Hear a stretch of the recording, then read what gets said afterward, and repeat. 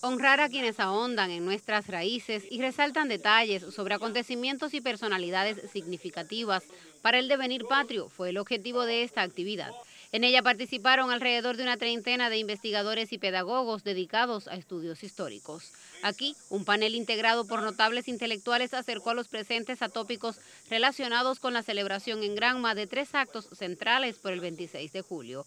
Al concluir la disertación, Federico Hernández Hernández expresó su gratitud por tan encomiable agasajo en el que se contextualizaron circunstancias y razones vividas por los granmenses al calor de las conmemoraciones por el Día de la Rebeldía Nacional. Mayor significación de estas sedes, afirmó el dirigente político, es la seguridad absoluta de que el pueblo ha sido siempre su principal protagonista.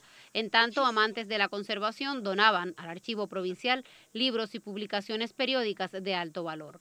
Cerró el homenaje la entrega de los premios provinciales de historia José Maceo Verdecia, José Manuel Carbonel y José María Izaguirre a destacados investigadores y maestros, quienes hicieron patente su compromiso con el pasado, presente y futuro de nuestra nación.